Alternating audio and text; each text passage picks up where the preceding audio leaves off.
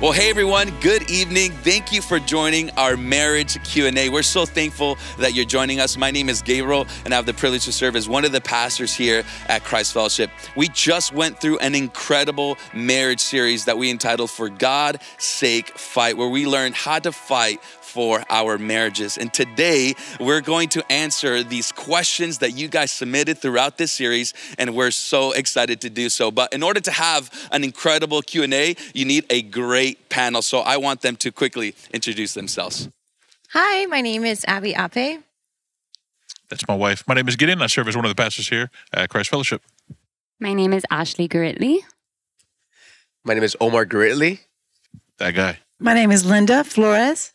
And my name is Sammy Flores, and I serve as one of the pastors here. That's right. Thank you guys. Thank you so much for being here. We appreciate all of you. We know that it's late, but that you guys are joining us. So thank you. So uh, we got a lot of questions submitted from so many different couples around all of our campuses, uh, locally and globally as well. And so we're gonna straight dive into. Are you guys ready tonight? You, you guys go. ready to go? We're, we're gonna So need the Lord's help Lord. before we do so. So we're gonna pray. Uh, Pastor, can you pray for us tonight? Is that all right? Sure. Let me pray for us. Lord, thank you, Father, for bringing us together uh, as a church. And uh, we know that marriage could be could bring one of the, the great joys of life, but also the, the hardest moments in our life. And so, Father, as we uh, attempt to answer these questions, uh, we understand, Lord, that there's a lot of complex issues behind them. But Father, give us a grace, oh Lord, to be able to answer them in a way that honors you. And so, Lord, lead us now as we as we discuss. We love you and we thank you. In Jesus' name we pray. Amen. Amen, amen. Appreciate you guys. Well, you guys ready to dive in? We're going to start uh, a lot of serious questions. And so we're going to start with a very serious one tonight. It's on the topic of toilet paper. This is a legit question. Toilet paper, when it comes to toilet paper, over or under? What, what do you guys have to say? Over. Over. Next. Over, Over. over. Standing up. This guy. Not even putting back on the roll. the, the, the, the rolled paper standing up. No, oh, standing up, not, up. not, not But you standing still, up. hanging it over or under?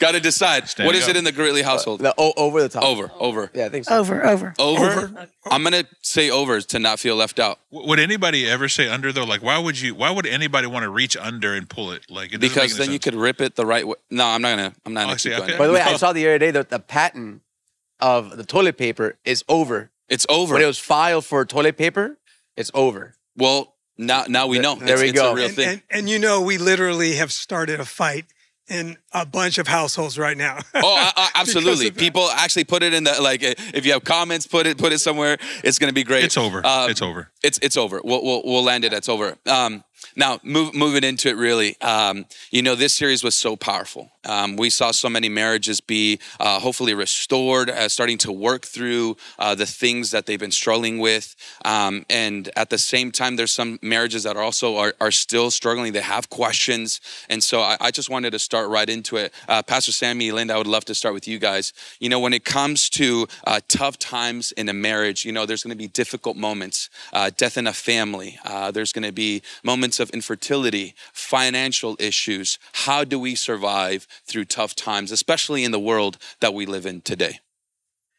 Well, you know, one of the things that I thought of when I saw this uh, particular question is is that um, when we start our journey with Christ, we're not promised uh, a life without difficulties and struggles, uh, but we're we are promised that God will be with us. Joshua 1 9 says that that he will that we don't need to be afraid, but that God will be with us.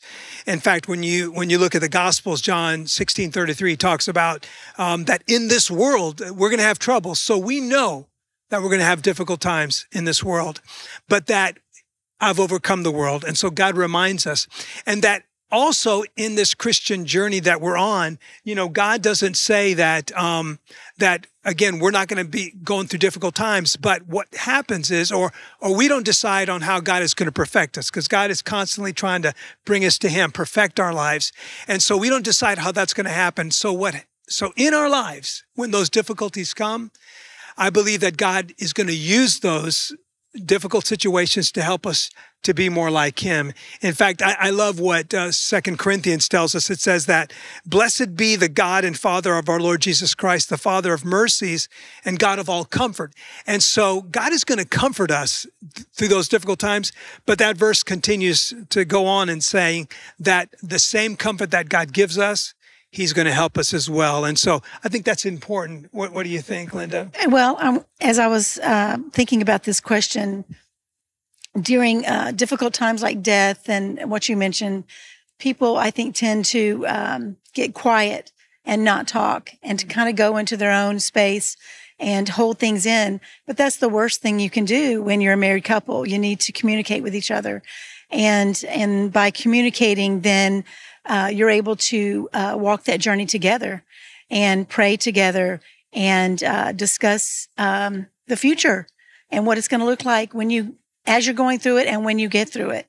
Um, and you can also uh, as you're doing that journey together i think you grow closer to the lord as well.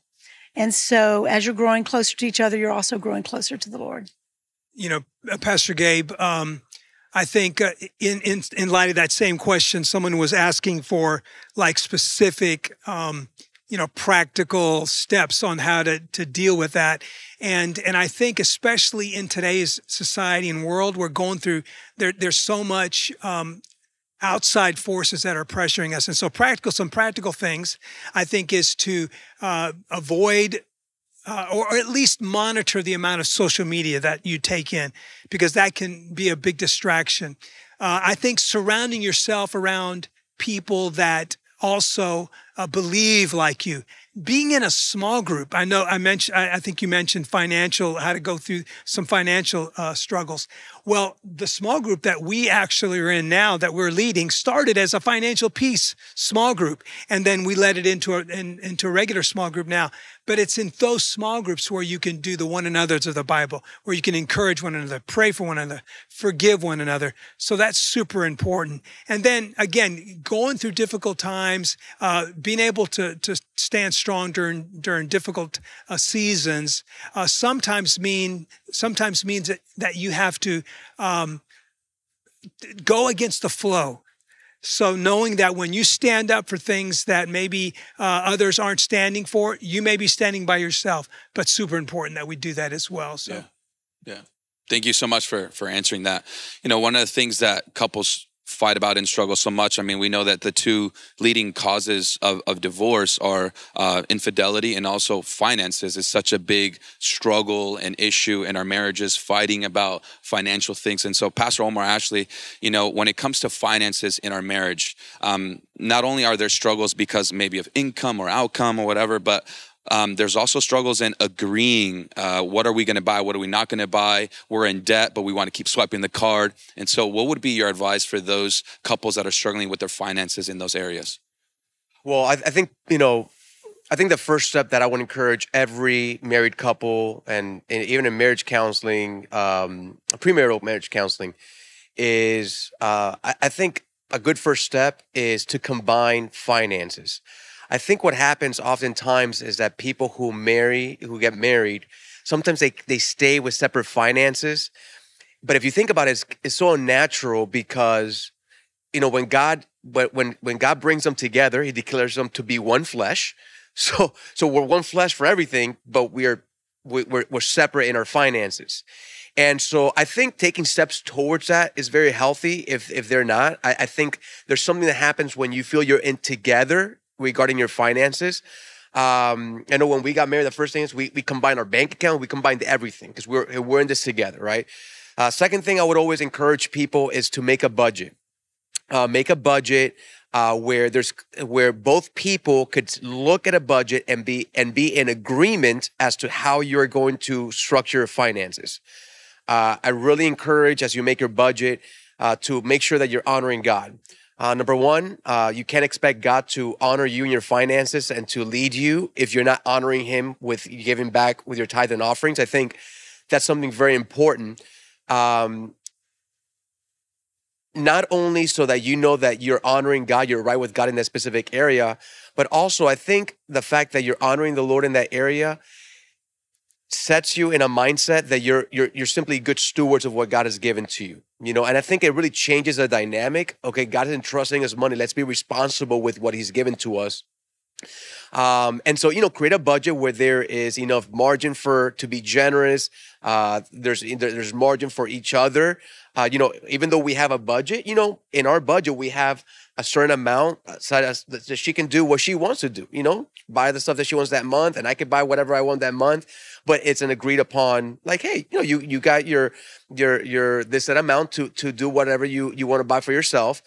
But really, I think when it comes to finances, we're, we're always talking to each other. You know, uh, whenever we're about to make a big expenditure on either side, like we talk with each other. We we never there's never a solo like oh I'm doing this by myself, I'm doing that by myself, and then fight about.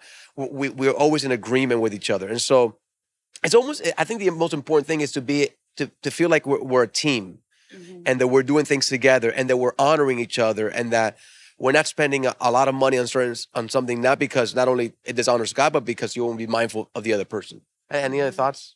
Yeah, and I think one of the hardest things that couples face in combining finances really is that, you know, one person always wants, you know, you want to have control over your finances. Society tells us that we should, you know, maintain a certain level of income and you got to make sure that you're set up just in case something happens. And culturally, a lot of people are told that. So, I mean, one of the big things too is keep your finances between just you and your spouse, like not bringing your family into those conversations and those decisions as well.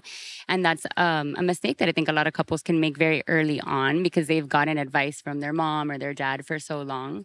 But there also comes a point that, sure, we agree, but there had to be, there had to come a moment where I, as a wife, I would say have somebody who makes the financial decisions and who really is the one managing the day in and day out and agree upon who that's going to be. And then the other person really has to take that submissive kind of approach and understanding where, yes, we're going to talk about things, but ultimately, if a decision is made, like that decision is made and you trust that person. And so for us, like that is Omar. And when we make those decisions, ultimately, like the decision is his finally if we have a disagreement upon something. So you have to have one who has that submissive approach and one who is really kind of leading the charge. And I think that's where some couples have challenges. Love it. It's constant communication. Pastor, you're going to say something? No, I just wanted to say that uh, when Pastor Omar was saying that sometimes, you know, your spouse needs a bigger budget, I was getting nudged over here.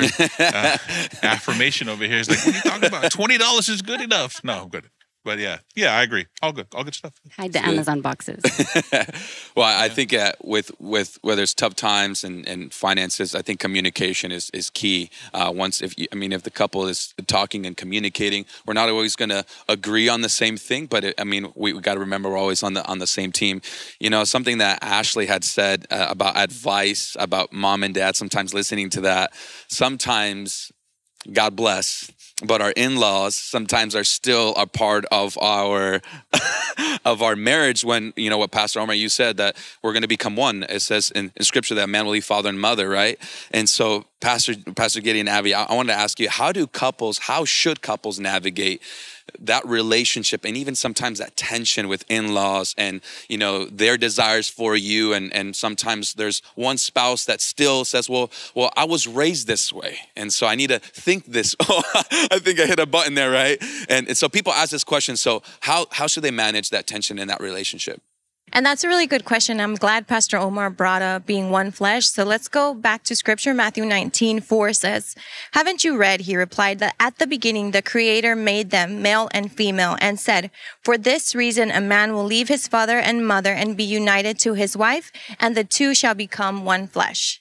So when it be, when it comes to becoming one flesh, there really is no room for anybody else, right? It's God and your spouse. And that is how we are to join in our relationship in marriage. And so, uh, what changes when it comes to our relationship with our parents is just that relationship. It, it just changes, right? It used to be the authoritative parent over the child, but once you become married, the daughter leaves the authority of the father, unites with the husband, and then the son leaves the authority of his father and becomes the head of the household.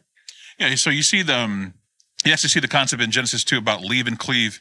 And so that word cleave is like, it's the Hebrew word uh, that refers to, to like a gluing or cementing. It's like a strong bond between two, two different objects. And so it's often used throughout scripture when you're talking about gluing or cementing something together. And so this is the way that the Lord has intended for marriage to be, that there's a total commitment between the husband and the spouse and between the husband or the wife and the spouse wait the wife and the husband both of you know you got what to say the husband and the wife together and then yeah. in their relationship uh, uh, to god and so there's this um example that i often use about the like the triangle of trust if you want to call it that but like say if god is at the top of this triangle and he's unmoving he doesn't change. Could you hold this babe? Teamwork here. So there's a triangle right? The lord is here and this is the husband and this is the the the, the wife. Um, and so and if, we're supposed to relate to each other how do we how do we come closer to each other is by pursuing the Lord. So if the husband pursues the Lord, but the wife doesn't, there's still a chasm that exists between the husband and, and, the, and the wife. The opposite is true as well. If the wife pursues God, but the husband chooses not to, there's a chasm that exists here. But look what happens when the husband and the wife pursues God together. The best way I can say it, if, if there's like a gem tumbler, you know, if, if you if you know a jeweler or anything, there's like uh, these diamonds that they would put in to a gem tumbler, uh, and what they would do is this gem tumbler would knock off the impurities of this diamond. But they have to put this this compound and grit inside of it so that these diamonds don't, as they go at each other, they don't break. So the gem tumbler itself is the covenant. That is God who holds this marriage together. And that compound and grit is how you are relating to one another as you're pursuing the Lord together.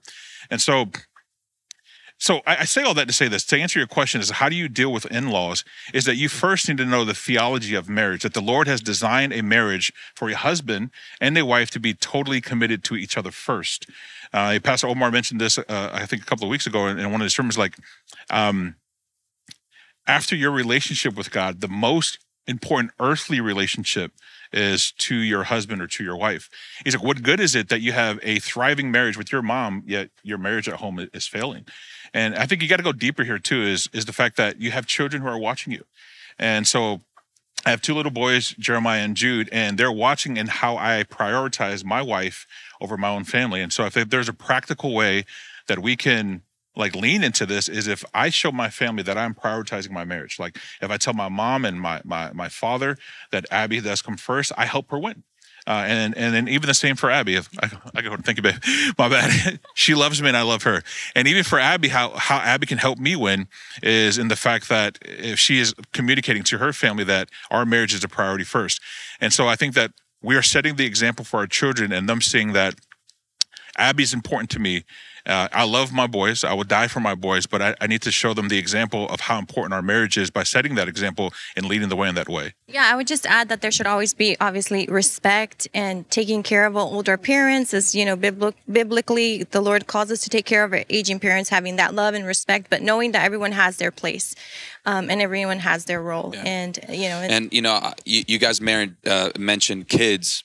Um, and what we've seen a lot too that happens in, in marriages, especially when there's a lot of struggles going on, um, we, we hear like, well, we're just staying together for the kids you know, because as they're going through that tumbler, like Pastor G was saying, and like Pastor Sammy, what you're saying that in this world, um, we're, we're going to have trouble, as says, consider for joy. Not if you, you know, if you have trials, but when you have trials, um, we're going when when we go through those trials. Unfortunately, um, it, just does something to us, does something to our marriages uh, because our eyes are on the wrong things and we stay together uh, for the wrong reasons. And, and really, it's because we we lose love for each other. And so, Pastor Omar and, and Ash, I'd love to ask you guys. That someone actually said, uh, "This is that exactly what someone said." I said, "I no longer feel love for him."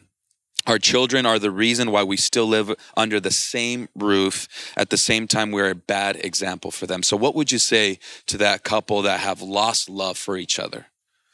You know, I think this is this is a, a, really um, hard place to be at. You know, because what happens is that marriage is, supposed to be all about love and all these feelings, and then when you're not feeling that, you don't know what to do. You know, it's it's very confusing. Um, but what what I would uh, encourage this person, you know, whoever uh, is is there's there's two ways of kind of rekindling a love. You know, going back. First of all um, Proverbs uh, 5.18 says, you know, rejoice in the wife of your youth.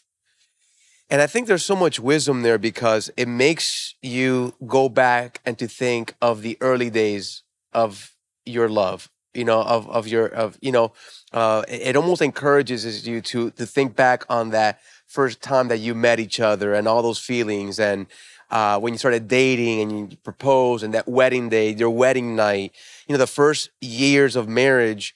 Uh, and those are very beautiful things to go back to and remember those things. Sometimes I feel like we have to go back and remember those really sweet moments and those emotions that you had, right? And so I think it's healthy for for us to go back and rejoice and rethink and and remember and cherish the those you know them. But at the same time, the reality is is that life changes and the little butterflies that we had at the beginning, they change, you know. And I think what happens for so many people is that they expect the rest of their life to have the same type of butterflies and the same type of love. And what happens really is that a love matures and it changes through seasons. And so, what I would encourage this person is not only go back at times and think of the the the the, the wife of your, your youth or the husband of your youth, you know, but at the same time now really cherish the person that they are now. The the husband the wife the father the mother the grandmother the grand the grandfather and also start treasuring and enjoying them for who they are now.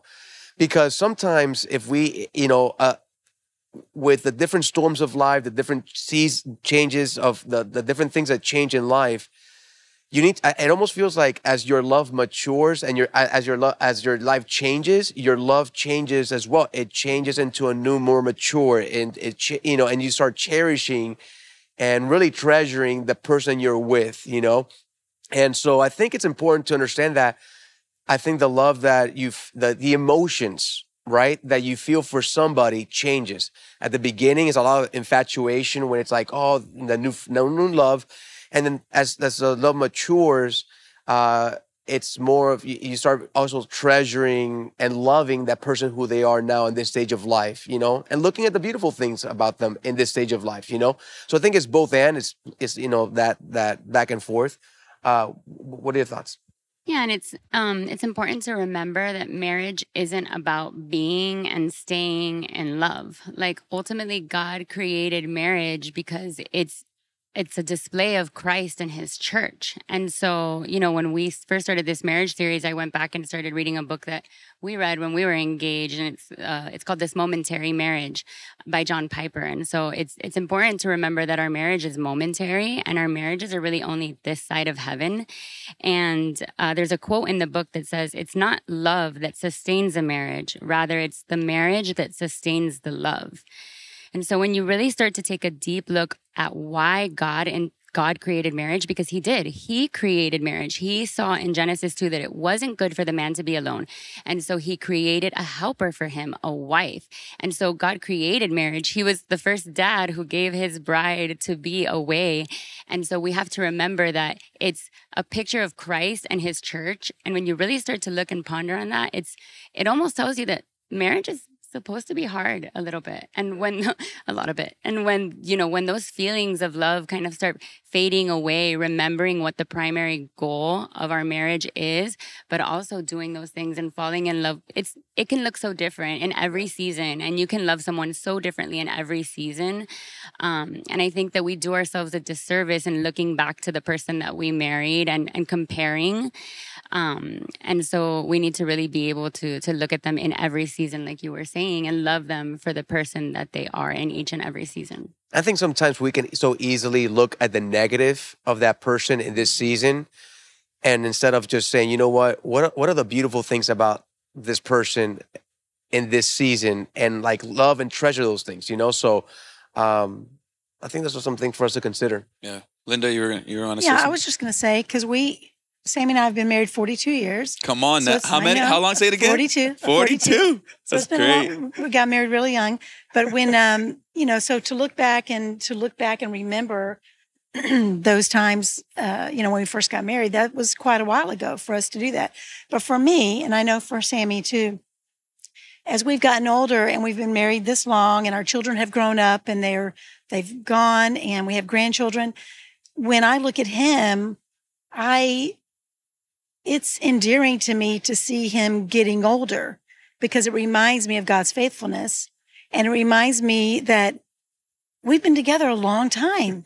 you know what I mean? It's, it's, it's comforting because I realize that we've gone through all those stages and I've got to see him get older. You know, I've got to experience that and it's a blessing. Yeah, it's beautiful. You know, with with stages though, and, and something that Ashley and Omar were talking, they're talking about change and talking about sometimes because of time, unfortunately, if we're not um, staying on top of our feelings, our, our character can change, our feelings change over time. And unfortunately, sometimes uh, the spouses, they, they turn into someone that that they shouldn't be for their spouse. They they they get uglies. They say things that they shouldn't. And and I have a question that I, I want to read a verbatim.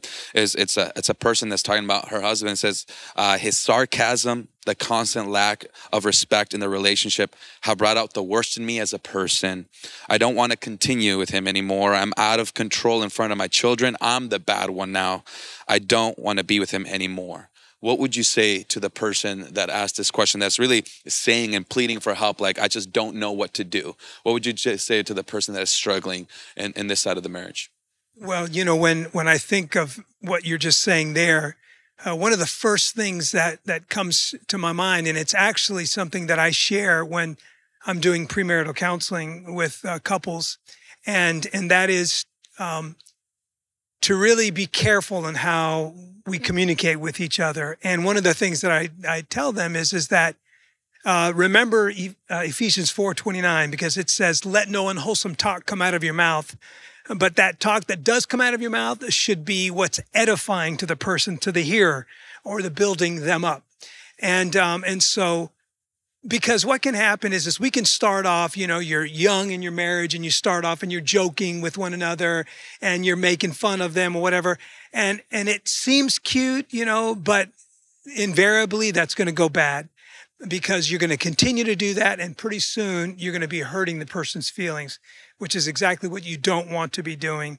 And so I think we have to be careful. And I, when I listen to that, that question, I, the the thing that comes to my mind too is is that oftentimes when a person is when they say, you know, I don't like how my partner is treating me, one of the first things that I also share with people is is in premarital counseling is to the first thing you need to do is to pray for yourself. You need to ask yourself, God, what is it that maybe needs to be fixed in my own life and in my own heart that makes me resent them? Uh, but then sitting down with that person with your spouse and, and talking about that. You know, crucial conversations aren't easy, but they, they have to be had, right? And so it's it's necessary. That's right. So I think it's important that we do that. Th- those are some of the things there, and, uh, and, a, and a change of heart, really. What do you think, Linda? When you mentioned that it was uh, in front of the children, I think is what you mentioned. That broke my heart because uh, I know Omar's been preaching about uh, how uh, the children will hear things, you know, going on. And they do need to hear some things, but they need to hear uh, their parents. Um, they need to be modeling Yeah. how to handle conflict. So if if there there is back and forth going on, uh, you need to be mindful that they're listening, and even if they're not in the room, sometimes they're listening down the hall. You know, and so we need to be really careful how we're speaking to each other.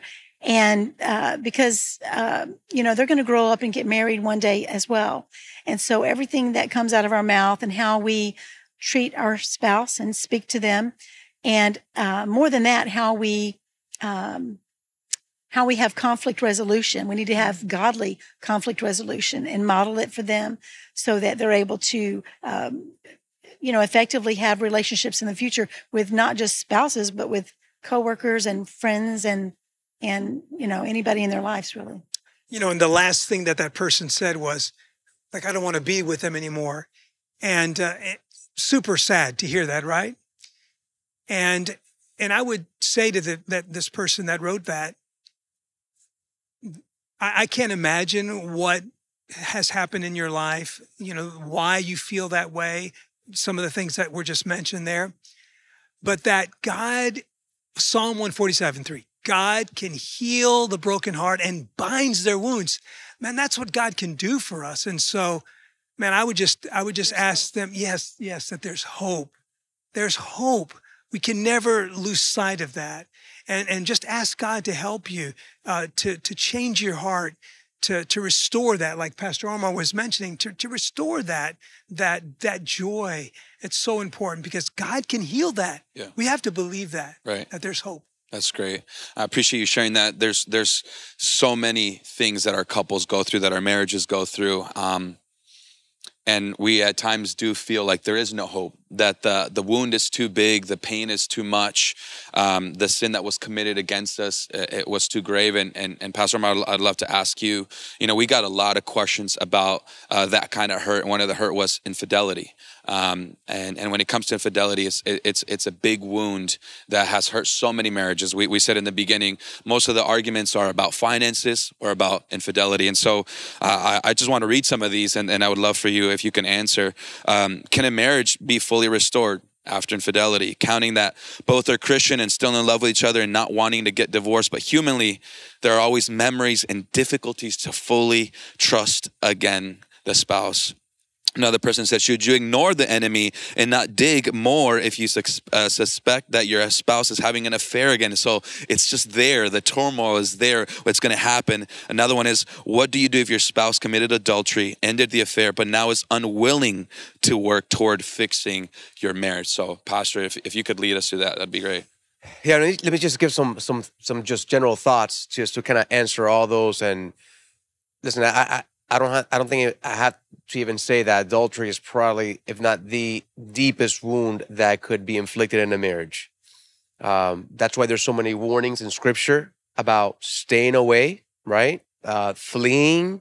Uh, and that there's a lot of warnings about this because of the wounds that it has. Now, I know that the Lord, the Lord knows that the wounds of infidelity are very, very deep. Uh, and that's one of the reasons that uh, he gives somebody who's they've been cheated on uh, the ability to get divorced. You know, the uh, you know the scripture says allows divorce in Matthew chapter five. It says, "But I say to you that everyone who divorces his wife or husband, except on the ground of sexual immorality, makes her makes him commit adultery." So, so there's because I think God understands the deep wounds and the psychological impact on a on a person. I think He allows divorce. However, as believers in Christ, that should not be our first option. Um, our desire, our desire should be to reconcile and to restore and to rebuild the marriage. Um, uh, that should be our first inclination. You know, before we just throw in the towel, we're getting divorced. I think what would honor the Lord is that we we try that. Let's let's try to work through this. Let's uh, just understand. And you know, this past weekend, I mean, I've seen many marriages being rebuilt after infidelity. So it's not impossible. Uh, with God's grace, all things are possible. Uh, this past weekend, um, uh, you know, I on the third week of this series. If you have not, if somebody has not watched it, I encourage you to watch it because it almost gives gives the the building blocks, right, of of being able to restore mar- marriage. In the even in the case of infidelity, there has to be ownership of the sins. There has to be confession. There has to be forgiveness. It has all these different things. And what I would just te- tell a, a couple that that has gone through it, once these wounds have been inflicted, right, it's almost im- impossible to go back to the way things were before. But that doesn't mean that after God rebuilds, that the next season, even though it may look a little different, it could be have its it could be beautiful in its in itself. You know, I think uh, the marriage was beautiful before that happened, but after that happens, it's not like you forget like that never happened, but it could be it, it can be still beautiful, and God could do some great things. And it's amazing when when somebody really when a couple comes before the Lord broken, how God really rebuilds, and God has a way of healing. Right now, um, what I would tell that person that um, that that committed adultery, I think there was a question about the person that doesn't want me check in on on them to see what's going on.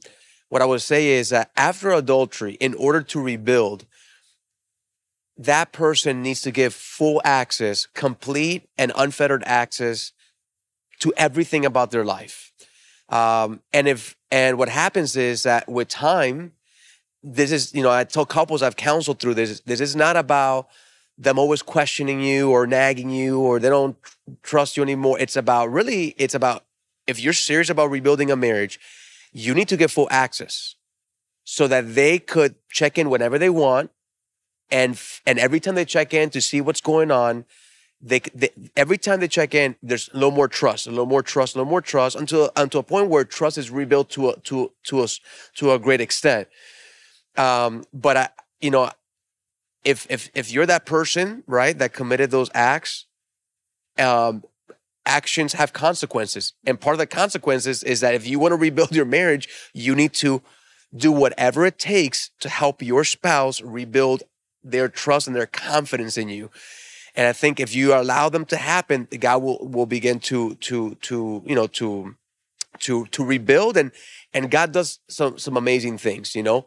Um, and so um, I just think that that's just that's just part of it, you know. But I, I, I can can a marriage be rebuilt? Absolutely, absolutely. Um, and uh, and it could be real rebuilt, and there could be a future without ignoring the past, but learning for the future and and and taking steps forward. Anything you want to add to that, Ben? No, I mean, I just adding that you know you've seen it, we've seen it, and there's so much. There's hope. There's still hope even in these mm-hmm. situations because we've seen God do such incredible things in marriages and marriages be restored even in this church that have gone through similar trials. And so, you know, it's there's hope. There is yeah. hope. It's possible. Praise God. Thank you for that. Uh, Pastor G. Abby, I, I, would like to kind of, with that same train of thought, uh, take it to you. So, how should we resolve with uh, to be able to get over these past hurts and issues, um, things that have happened in the past? How should we resolve to be able to overcome those um, in our lives and in our marriages? Yeah, so that's a good question. I think that when it comes to resolving past hurts or like just resolving conflict in general, I think it's always wise to go back to the beginning of when you should resolve conflict. And so there's this phrase or the saying that we all know that you shouldn't go to bed angry. Uh, we say, "Hey, don't go to bed angry. Don't bet, you know, don't go to bed angry." We we we know we hear that. You probably think that a lot. Uh, but the truth is, it's easier said than done, right? Because when you're in the middle of an argument or fight and you're tired, you just want to go to bed. So, but but think about that for a minute. To not go to bed angry is like it's like having to clean out the basement. Oh, or we're in Miami, so we don't have a basement. Like if you have a garage or like a clutter closet, it's like having to clean that out right before you go to bed. Bro, it, it takes time, effort, and patience. And you're thinking to yourself, I'm just tired. I want to go to bed. I've been arguing with you all day. I don't want to do this. But you know, when someone says not to go to bed angry, it's not just like practical advice, it's biblical. You know, Paul talks about this in Ephesians 4. He says, In your anger, do not sin. And then he says, Don't let the sun set on your anger, allowing the devil to grab a foothold. And so you, you think about that. He's admonishing couples, married couples, to not let anger fester in your heart. So the thing is this like, if Abby and I got into an argument, we go to sleep, we don't resolve it, I could wake up the next morning and be like, Oh, I'm over it. But the truth is, I'm letting that anger fester. It's unresolved. It's, it's kind of like the idea if you're sweeping dirt under a rug, right? You know, this rug right here. If you're sweeping dirt under a rug, you can get away with it for that that moment. You can. But if you if you handle all of your conflicts by like just sweeping it under the rug, inevitably that that that rug, that dirt that you sweep under the rug is going to become a mound and a pile to the point where you're going to trip over that when you're walking one day and all of that dirt is exposed. Then what? And so when it come when when Paul is telling couples you know, you have a, a rule of thumb. You have 24 hours to resolve all your conflicts. You need to do that, right? even if it's a it's a major conflict like like say infidelity there's no way that you can solve that in 24 hours but you're making you're making a commitment to each other that i'm going to work on this i'm going to go to bed angry i'm upset I'm, I'm, I'm human but i'm making a commitment that when i wake up the next morning we're going to fight for our marriage and so when it comes to resolving past hurts and conflicts you really have to put into practice what the lord what the Lord's word says is give yourself like a practical tool. Give your give yourself a day, and before you go to bed, work to resolve those those those conflicts or issues. What do you think? Yeah, well, if you, I encourage everybody to go take a look at Ephesians 4 either tonight or sometime. It's a beautiful uh, chapter and it talks about maturing in Christ and calls us to put away our former self, our former attitudes, our former way of thinking. And this applies to our relationships, but sometimes it can feel a little bit more challenging when it comes to your marriage, right? Your spouse knows you in no other way no human on earth knows you as well as your spouse. So whenever we argue or perhaps we sin against each other intentionally or unintentionally, it cuts and it hurts really, really deeply. It's a deeper cut because it, it- I'm sorry to cut you off, but the thing is this: is when you're arguing with the person that you love the most, they know your flaws. They know exactly where to cut you. And and and when Paul says, "In your anger, do not sin," we always sin in our anger. Right. And so we're angry. I'm going to lash out at Abby or I'm going to lash out at Gideon. I'm going to say something that's going to hurt them and it cuts deep. And so, um, yeah, you're, you're, you're- you're resolving to, to, to fight right. Right. And, and what Abby always says whenever we get into an argument is that Gideon, we're not the enemy. And she's always reminding me, it's just like, you know, I get overwhelmed, I get stressed and all that stuff is like, she's usually right. Uh, and it's just a reminder that, that I, that man. she's, she's, yes, happy wife, happy life. That, uh, that I, she's not the enemy and I'm not her enemy as well. That's right. Sorry, babe, go. and and not only that, it's also like pausing before you address like the issue, right? So taking a moment to think, to pray, and to remind yourself like he's not the enemy. Gather your thoughts, submit them unto the Lord, and expect the very best in your spouse. Yeah, so I would say some practical ways Yeah. about resolving past hurts and stuff. I think we have three. Number one, we know this communication is key. Uh, when you're trying to resolve conflict, bro, no one should ever try to resolve conflict over text. It's the worst thing to do. you know, I would encourage a face to face conversation. Sit down. And then as you're communicating to your spouse, um, be mindful to not assign your emotions to how the, you know how you're feeling and projecting it on them. I think that you like what Abby says, you have to take every thought captive.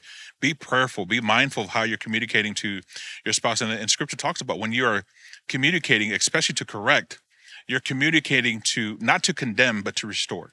And if I truly, truly do love my spouse the way that I should love my spouse, I'm communicating correction to her and the way to restore our marriage, the way to restore our love for each other, if you will. Our love shouldn't go away, but to restore our marriage in that way.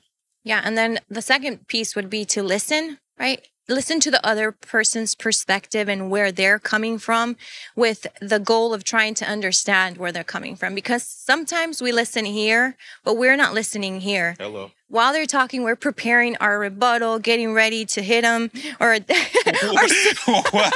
Not, I don't know what she's talking about. yeah, cut that out. She'll she'll What knock, she'll knock you out. watching? She'll knock me out. She'll turn her ring around like, yeah. My god, that was funny. Okay. And the next thing I would add, it's uh, really important to listen to the other person's perspective, right? To understand where they're coming from. And sometimes we are listening here and we're not listening here. As they're talking, we're creating our next rebuttal and how we're going to go at them. And so um, it's important not to do that and to actively try to listen and hear out where they're coming from.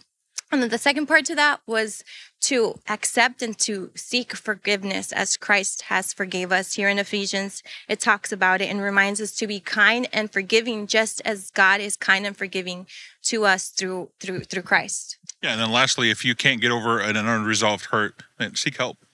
Find somebody that you trust. Ask for someone who, who, who, who you know loves God, loves the Lord, and can speak objectively into your marriage and and be able to hold you and your spouse accountable in that way. So Yeah. Um, I, I'm actually going to go back to that seeking help because I, I, I think I have something there. But, you know, unfortunately, there's so many of our couples that don't seek help and they think that they, they are the enemy, each other are the enemy, and they get to the point where they haven't sought out help. And, and so when they run to the church, they run to the pastor, they run to the leader, it's almost like too late. Uh, Pastor, you, you were saying that in your message, and, and it was an eye opening thing because it happens so many times where they don't talk to anybody, and now we're we're at the last straw, and so many questions came in about divorce.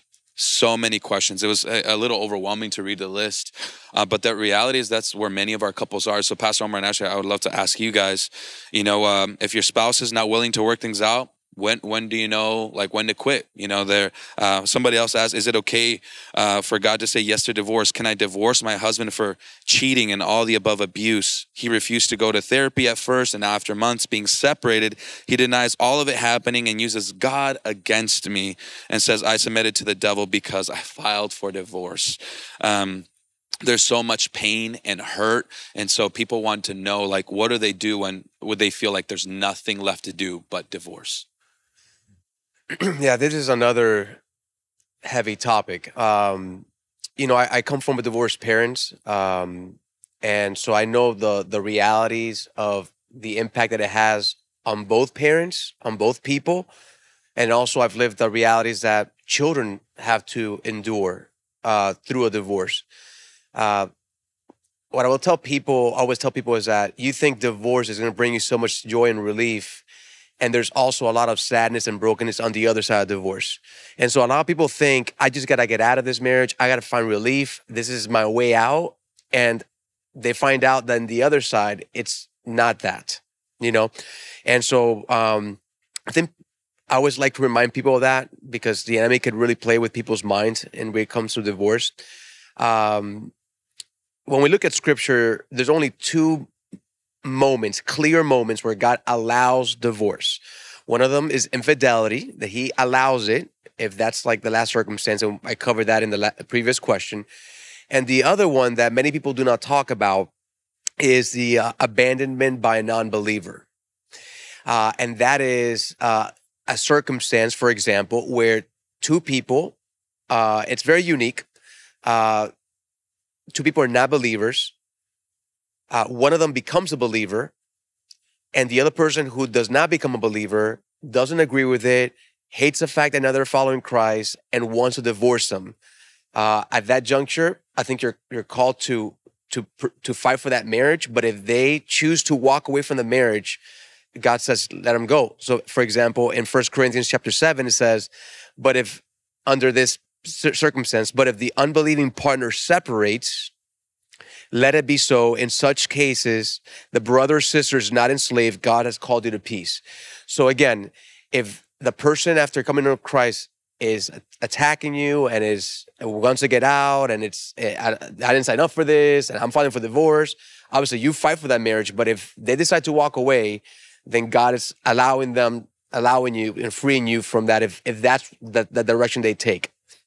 But nevertheless, I always tell people, uh, whether it's in this type of situation or any or, or any or any situation, it's interesting to know that in both infidelity or in this very unique circumstance, right, uh, that that Scripture never encourages divorce uh, uh, or is or requires divorce. It only allows it as a last resort. You know, I think it's important to understand. It never encourages it, and it never requires it. It only allows it if if there's no other way to fi- fix the marriage, right? And what I always tell people, uh, oh, she's you know he's threatening for divorce or she's threatening for divorce. What I always tell people is you stand your ground and you fight for your marriage. And if they pursue divorce and through the legal system, let it be that when you get a divorce is because they went through the course and you have no other choice legally but to take that step. But you need to fight for your marriage. And if it ever comes to a point that they fight so much for a divorce that you have no choice, then at least you can walk away from that marriage with a clear conscience that you did everything possible to fight for that marriage, you know? Um, but I want to also, you know, remind people that other than those, the main one is infidelity, and the other one is that unique circumstance of two people, you know, that become a believer and one doesn't, they walk away. It's important for people to understand that nowhere in scripture does God allow divorce for any other reason. So changes of emotions, changes of feelings, fighting, arguing, all these things are things that marriages go through, and that's part of sanctifications, part of honoring the Lord. And those are not reasons that God allows you to get a divorce. Now, I know there's a lot of people who say, but what about if the other person's being abusive physically? Uh, my children are in danger, all these crazy scenarios. And those are very scary situations. Uh, what I would recommend at that point is separation. You gotta separate. God has not called you to be in an unsafe environment. God has not called you to be, you know, put your, your life at risk. You, you gotta separate themselves and you move out. Um, uh, but I always tell the the people, you know, I, I think that's the first step for someone in this circumstances so that they're they're safe, you know, and then submit to the Lord and Lord work in this situation, you know, and and and fight for your marriage in those specific things. And I would encourage somebody who's going through those situations, they need to seek out pastoral help and help me process this. You know, once you separate and you you gain distance so you're physically safe, start praying, Lord, change hearts, Lord, do something here, like, you know, and, and start seeking seeking help. In cases where there's a lot of fighting, you know, I have couples that they're just so fighting and it's there's so much hurt and one party just wants to separate i'm i don't always recommend separation just for the sake of se- separation but if they do separate it has to be with the mentality we're gonna take a, a break in order to reconcile. It can yeah and, and to come back together because unfortunately for so many people think well separations is one step towards divorce. It makes divorce easier. What i always tell if you're going to take that step i don't recommend it but if you're going to do this my encouragement is that for you to do so with a mentality we're going to heal in order to reconcile. And that has to be the objective that's the key. The objective of the separation um, is to eventually reconcile and fight for this and fight for that marriage. If a, if for whatever reason a marriage gets the, the people get divorced and and they um, you know I think one of the questions was if I get remarried right am I constantly living in adultery? Well, what I would just say, listen, I can't speak to every situation, but if two people divorce and the way it works out is that they eventually re, uh, remarry somebody else what I would say is don't now get divorced to try to reconcile back to that old marriage. Now try to honor the Lord, learn from your past mistakes, from, from that past relationship, and now seek to honor the Lord in the marriage that you're in right now.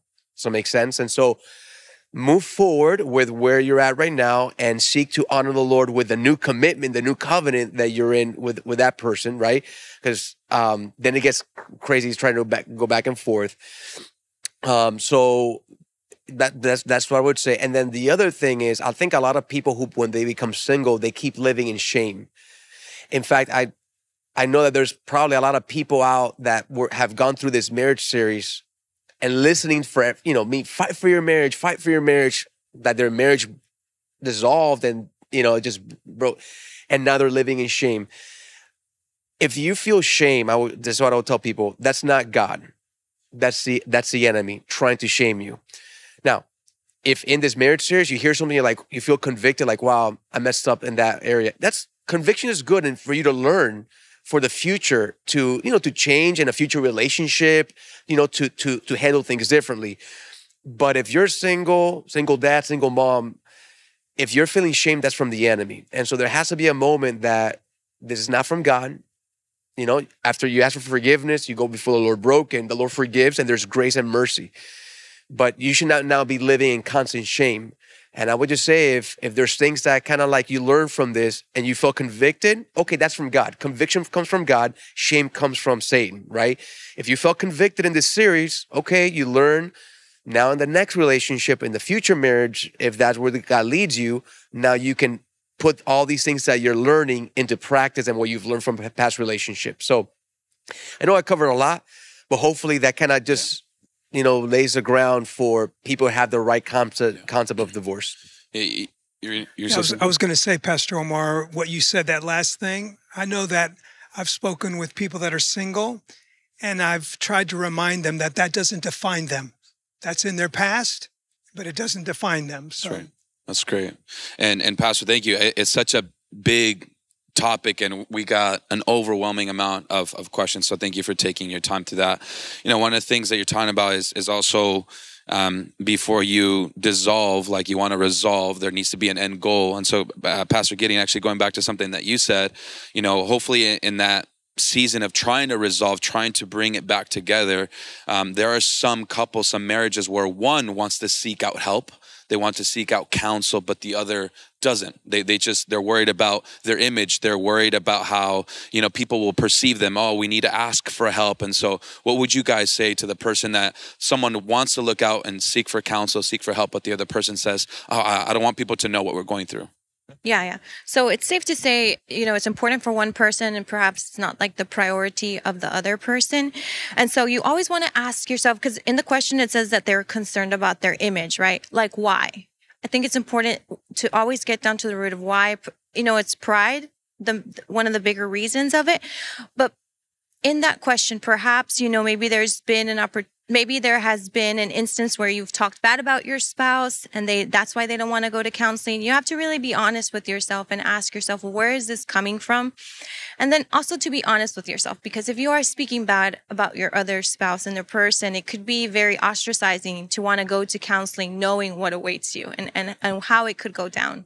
Yeah, the truth is like like if, if Abby were to speak poorly of me to her family, anytime that I would walk into like a family event, I'm already walking in at a deficit. I feel like, bro, I got to prove myself to these people as well. And so I'm like thinking to myself, I, I don't want, I don't want any help. But I think Abby brought up something about pride.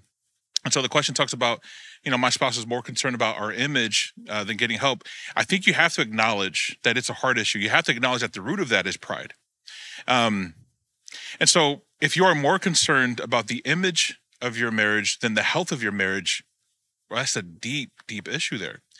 Um, there is a his name is Jason Meyer. He he writes uh, he, he wrote on marriage, but he there's this quote that he writes. He talks about pride. He says pride isn't just sin; it's a sinful mother that that produces or births other sins. And when I read that, I'm thinking, like, yeah, of course, we know that pride is at the root of everything, but but how what pride? Like for instance, if take for instance a lie. If you lie, at the root of that is pride because you're lying because you're too prideful to admit that you are wrong. So pride doesn't just tell lies; pride is the lie. And so if you're believing the lie that it's more important that people look at my marriage as it being healthy than it actually being healthy, it's a prideful thing. It's a, it, it's an issue of your heart. And so I think if they're asking the question like, how do you address this? You always have to go back to God's word. Like we're a church, we're pastors. We're not going to deviate from that. You have to. Like, how do you tackle a hardened, prideful heart? It's by pursuing Christ over and over and over again. And so if you're the spouse who desires like you know counsel from an, uh, from like a pastor or a wellspring or whatever it may be pray for your spouse. Pray that the lord will soften their heart uh, to realizing to, to come to humility to be able to understand and realize like i really do need help. And then also i think you should check yourself and how you might like what abby said how you might be speaking to your spouse. Perhaps there's something that you're doing that's just pushing them further away of like this is the reason why i don't want to get help. Because you're going to ostracize me you're going to do this you're going to do that you're bad mouthing me to your family to your friends like why do i want that? You know?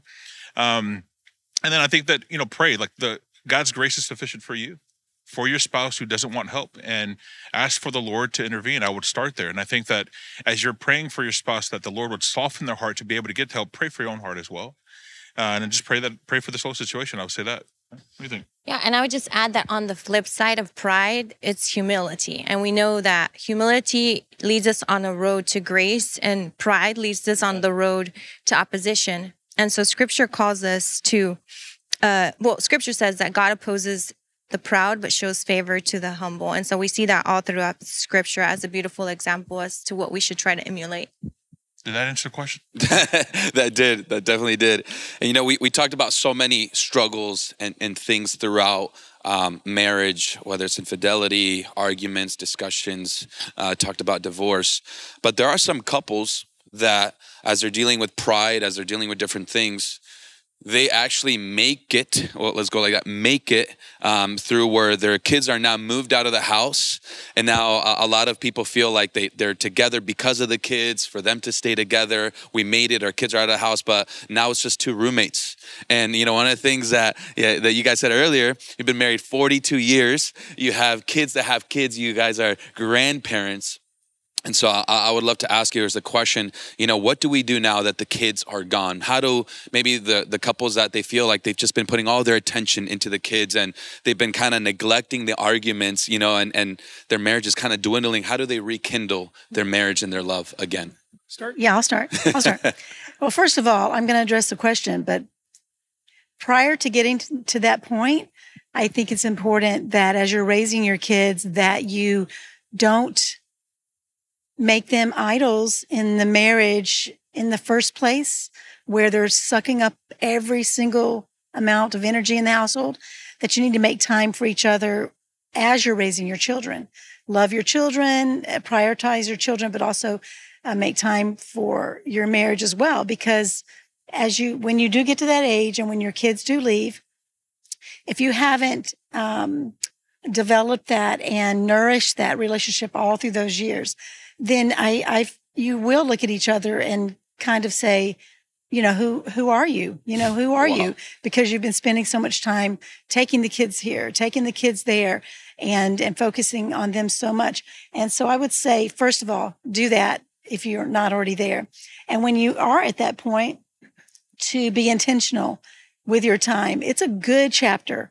It's not a bad chapter. It's like it's awesome. It's awesome. And because we've raised our kids and we the grandkids are there they come they go. We have our time. I, I love it. I love this chapter in our life. And and we go on dates. We're going to go on a date tonight. Come on now. yeah. And That's late. yeah. It's late. Party after this. I know, yeah. so I think you know, just be really intentional in uh, your relationship after your kids are all grown and gone, uh, making those um, decisions together. We're going to do this. We're you know share with each other, uh, rekindle that friendship, that love that you had, and like Omar was talking about. Uh, don't forget, no matter how long it's been, don't forget Yeah. that when you first met, how you felt, you fell in love with that person, and now you get to spend most of your time with that person. Come on now. It's good. So when the when I saw the question, I started thinking, really, why why do couples when they get to that place, why do they feel like they're strangers? You know, why why all of a sudden do they feel like who is this person? And really, it's because of time, which which she mentioned. It's it's the time. If you do the work on the front end, where you encourage one another, you know, where where you value that person, because children are uh, are an addition to your life. They're not your life. They're an addition to it. And so doing things, being proactive and doing things uh, with your spouse, uh, without the kids, it's important. And I know it's hard, but it's important. So when that time comes. And so what I decided to do is I would take the word time and make it an acronym and use it as an acronym. So, so the first T or the first letter in time is T, and that's talk make sure that you're talking to your spouse. Super important. And i think you guys uh, get, um, uh, abby and gideon you were saying uh, you know listening really listening. And and something that i'm not really good at but i try to be better at is listen to hear not to respond. Meaning when you're listening to someone don't try to already say what you want to answer but really listen to the to the to the to the conversation fully and so that way you can respond you know properly. And then with with the i is initiate new traditions initiate new adventures. The kids are gone. Now there's some other things that you can do. So so you know go with it. Try try some new adventures. And then the m should be to manage. Manage your expectations. Because if we see other couples then we look at our own lives and we're like oh we're supposed to be like them. No no no. That's them so manage your expectations, super important. And then the E in time, encourage. Make sure that you're constantly encouraging your spouse, uh, really encouraging, not just trying to like, wow, you're awesome, but really, really encourage them. Be specific Yeah. in the way you're encouraging them. You know, great. some of those things. Anyways. Awesome. I love it. Pastor. Thank you so much. That's a, a lot of wisdom. A, a, a few things also that I share couples, and I think it, it could apply to couples who feel like empty nesters that don't know each other, or even after um, like uh, whether it's infidelity or like a really bad part of their marriage is uh, I, I, uh, you know I, I think in in their in that case of empty nesters, number one, celebrate what you've accomplished. You've raised your children, great. right? That's awesome. You know, that's Praise that's a God. great thing. and what I tell people always is they put too much pressure, kind of like what Sammy was saying, is like, okay, now like, let's get all romantic. And sometimes like there's no feelings to be romantic, you know? And so the first step is is man, just be friends again. Man, just just be friends. And then all those feelings are gonna start, you know, coming, you know, celebrate the fact that you're empty nesters. Start off as friends, go out, hang out, talk without the pressure of like, hey, after this, you know, we're gonna get back home. Like, you know, all because a lot of people feel like that pressure, man, Right. just be friends. Just be friends. And little by little, once you start developing that friendship again, and then all those little things start coming back, start coming into place, you know? But celebrate, be friends, and they just let the natural course, you know, from that point on. Yeah, I love it. You my friend? Thank you guys. My friend. She my Good. friend. You're your friend. You guys We're are good. friends. I was just making sure that she was my friend. well, hey, uh, a legit question. I'm, I want to end with this one. Came in and it was pretty, pretty serious. You guys ready? I'm gonna actually ask Linda and uh, Ashley. This is a real question. I am not lying to anybody. This is a real question right now. How do you deal married to a Puerto Rican? How do you It's do a it? real Puerto question. So Rican? Linda, you're married to Puerto Rican. Yeah, Ashley, Sammy and, and I are, are Puerto uh, Rican. yeah, so. so how, how do you, We're how- per, I'm You a Puerto don't. Rican. yeah. what, what, Yes, what would me. be what would be your me. answer? What would be your answer? I, I I think it's awesome. It's the best. Puerto Ricans are the best. She's really about to go in and answer this question. Like, dang, okay, you really got to deal with this. I think the majority of my uh, Cuban family has married Puerto Ricans, and so yeah, There you go. My brother married a Puerto Rican. I married a Puerto Rican, so there must be something in the water. In something in the water. Something in the water. What would you say? Well, she's Mexican and I'm Samoan, so we're confused. I love it. I love it. I'm Ecuadorian, so it doesn't apply anyways. But hey, thank you so much uh, for being here. Thank you for your time. And just to kind of like really, really wrap things down, um, is there anything that maybe you still have on your heart, maybe uh, an advice, a counsel, very really quick that you would love to share with those that are listening to today that maybe we weren't able to ask yet, or you just have it on your heart, tip on your tongue, you want to share? I think I think Abby's ready. Yeah, I would say like at the start, you know, for the past three weeks, we've really drilled in on our marriage, and I think we've shared a lot of um, things that we could do better. But I think it's also um, we also have to couple it with the things that they're doing well, like that encouragement, constant, you know, feedback and encouragement, so that they know that they're doing a really good job. And um, babe, I think you should share what you always share in small group with about your advice. Love Jesus. Which one? Oh, the mar- oh yeah. Is a, one line I, I would often say is that um, loving Jesus more than you love your spouse is the only time coming second really puts you first. And you will never ever lose out if you have a spouse who loves Jesus more than you. Never. And I think the the encouragement there is that I think if you both love Jesus more than you love each other, um, the overflow, the outcome of that, the result of that is like God will give you a heart and a desire for your spouse even more so. And so, um, yeah, I would just encourage each other to, like what Abby's saying, encourage each other along the way of, of, of communing with God daily, pursuing the Lord as often as you can. That's good. Yeah. Anybody else want to share? Um, I piggyback a little bit off of Sammy. I mean, to your point, Gideon, yes, like seeking first the kingdom always, and all else will be added. And you know, he was sharing about piling up dust under a rug, like divorce and these things. They're they don't happen overnight, right? It's all the little moments. And so, kind of like what you were sharing about being empty nesters, like be intentional in the time we have now. Date your spouse, date your spouse, and be intentional. And, and, and you know that's something that we've been really big on is carving out that time without the kids now. And you know we have a five and two year old. It's hard. It takes Amen. time, but carving out that time now and making sure that we do put each other second, but put each other before the kids and before other things because I have to live with you after the kids are gone. We have to like each other. I think for me, just quick advice is is um, it's easy when we're stressed and when there's like a lot of ish things going on to be critical of the other person and start nitpicking the little the little things that they do that are oh look how terrible they are they did, did this or they didn't did do this you know little little and instead eh, yeah the toilet you know all these little details you know Toilet paper. and I think what happens we get into a mar- in a marriage we get so critical of each other. I think what that's what the enemy wants. Be critical of them. Look at the little little things that they're not doing or they're doing. I think what God wants us to do is man treasure all the all the the great things about them, you know, and focus more on like, man, what a blessing they are. Wow, look how look how they are doing what with their children. Look how they do at work. Look how they do all these different cool things. Look how and, and I think if you start focusing more on the blessings that the blessing they are to you from God instead of like the little being overly critical about the the dumb stuff that doesn't really matter, I think it changes your your view of life, your your the view of your spouse, your perspective in a day to day. You know. I would say just always that there's always hope. Just be hopeful in your marriage. God ordained marriage, you know? And so there's always hope. And I think probably for me, it's just always consider the other person above yourself. When you look at Philippians 2, just talks so much about humility and man, just consider the other person above yourself. Uh, and, and, and I think you'll put yourself in a good position. Thank you so much.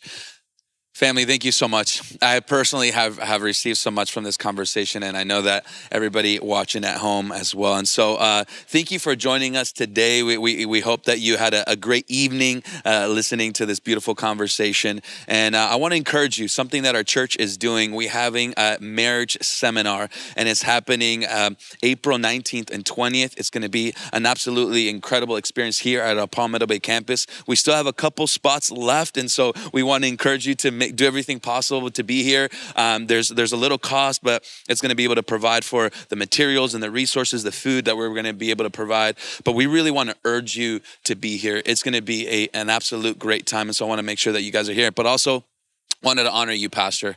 Uh, thank you because we were uh, in, in going in a different direction. We were going to do something different but uh, the spirit of god spoke to you clearly and just prompted your spirit to say you know what? We need to stop what we're doing and we need to preach to our marriages. And so pastor in front of our entire congregation those watching thank you for being sensitive to the spirit of god. Um, and honestly you're doing such an incredible job leading us. Uh, we're uh, uh, the, the men are staff here at this church and and ashley also leading caring for miami and, and we're honored to be led by you um, and, and Pastor G for, for your team as well and all the execution that it takes to pivot and to do something else. So, um, Pastor Sammy, uh, the way that you just welcome us uh, into this church and our campus, and ladies, um, we, we can't do it if, if you're not next to us. We, we cannot do it without uh, strong women by our side. And so, thank you for how you help us um, in so many areas. And so, thank you. Thank you. We, we appreciate you guys so much. So, we love you guys. We pray that you're blessed, and we'll see you very soon.